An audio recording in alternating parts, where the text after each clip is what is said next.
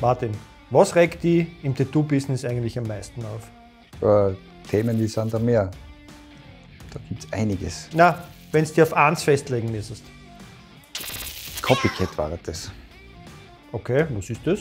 Nie gehört. Ja, Copycat ist jemand, der selber wenig oder keine Ideen hat und das von anderen nachmacht oder nachsagt. Also einfach nur ein billiger Kopierer. Wie schaut das jetzt konkret aus beim Tätowieren? Ja, das haben wir auch öfter mal so, dass Leute kommen mit irgendwelchen Fotos von Tätowierungen oder von Tattoo-Vorlagen und dann genau das haben möchten. Was wir aber nicht machen, weil wir kopieren es halt nicht. Weil das ja dem Tätowieren an sich ja komplett äh, konträr gegenübersteht. Soll ein Zeichen von Individualität sein. Und dann habe ich aber eine Tätowierung, die ganz gleich ist wie die von jemand anderen. Also deswegen machen wir das zum Beispiel jetzt auch überhaupt nicht.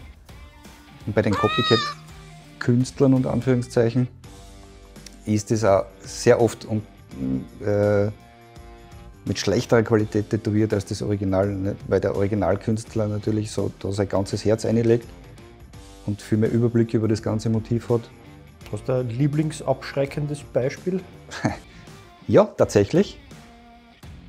Da gibt es eine Tätowierung von einer äh, Körperhälfte vorn, wo der Tätowierer um die Brustwarzen herum tätowiert hat.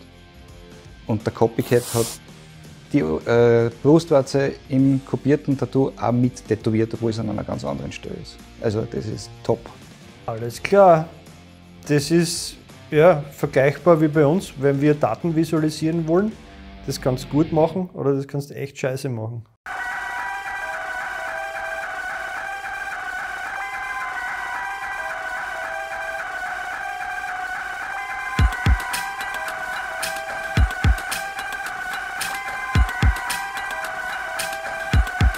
Alles klar? Eher nicht, oder? Große Zahlenmengen und komplexe Informationen müssen bildlich dargestellt werden. Ein Balkendiagramm ist hilfreich, um Werte aus unterschiedlichen Kategorien miteinander zu vergleichen. Für den Pro-Kopf-Verbrauch von Gemüsesorten in Österreich kann man ablesen, dass Tomaten mit Abstand am häufigsten verwendet werden. Im Verbrauch folgen darauf Zwiebeln und Karotten. Pilze werden im Vergleich dazu viel weniger verwendet. Ein Tortendiagramm wird für den Vergleich von Teilmengen eines Ganzen verwendet. Zum Beispiel, wie beliebt Tortenbacken in Deutschland ist. 26% der Deutschen machen es nie oder seltener.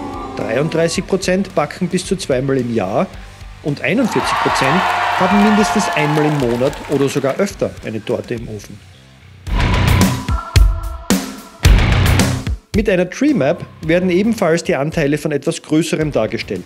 Im Unterschied zum Tortendiagramm kann man aber die einzelnen Segmente zusätzlich unterteilen, wie zum Beispiel der Oma ihr geheimes Brathändelgewürz.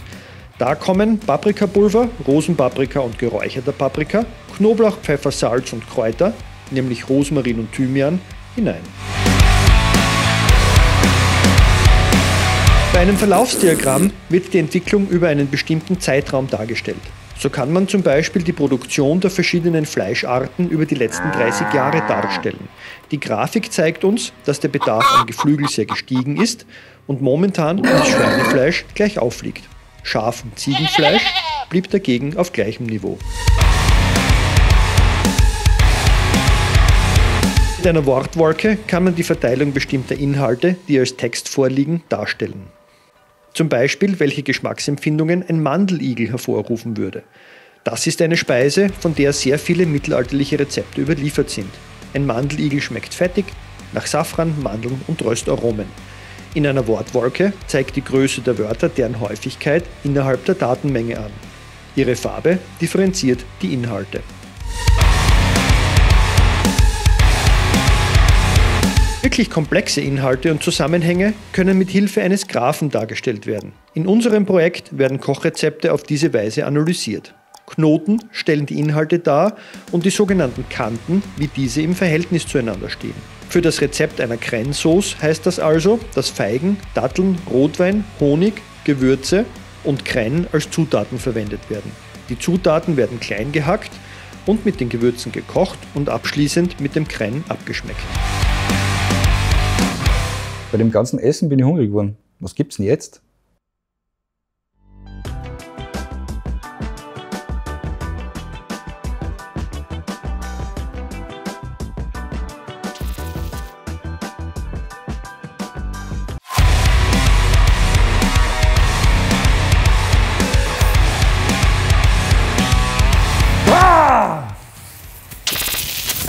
Hoppla. Schon im Mittelalter, wenn man sich vor einer unbekannten Krankheit hat schützen wollen, hat man Masken aufgesetzt. Wie zum Beispiel bei der Pest. Und wenn man das Gefühl gehabt hat, dass die Masken nichts hilft, dann hat man betet. Weil im Mittelalter waren die Leute wirklich sehr religiös. Das merkt man auch daran, dass es bis zu 270 Fasttage gegeben hat. Der Unterschied beim Fasten ist, dass man bei uns weniger Essen versucht.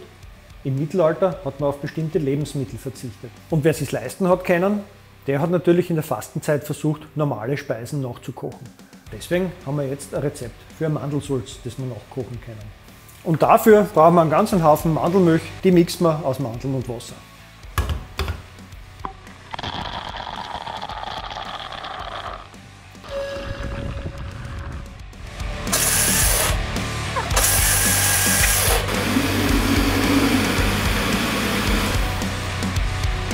Die Mandelmilch muss man wirklich sehr, sehr fein pürieren und dann können wir sie abseihen in drei Portionen, die wir nachher weiterverarbeiten.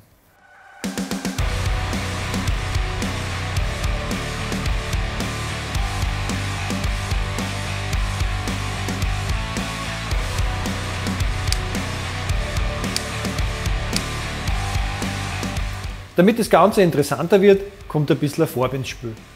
Und das machen wir wie im Mittelalter mit Naturfarben. Ein Grün kriegen wir, indem wir die Mandelmilch mit Petersilie mixen. Beim Weiterverarbeiten werden wir das dann abmessen, würzen und mit Agar-Agar gelieren.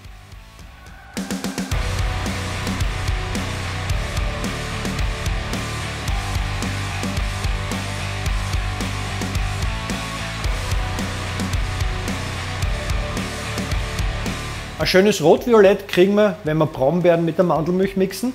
Die würzen wir mit Pfeffer und dann gelieren wir es.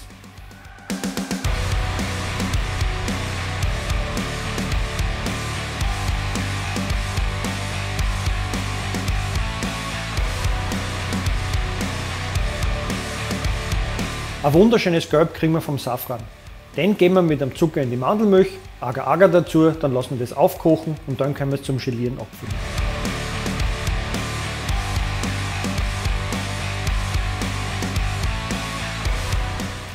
Am schönsten richtet man die dreifärbige Mandelsulz in einem durchsichtigen Glas an.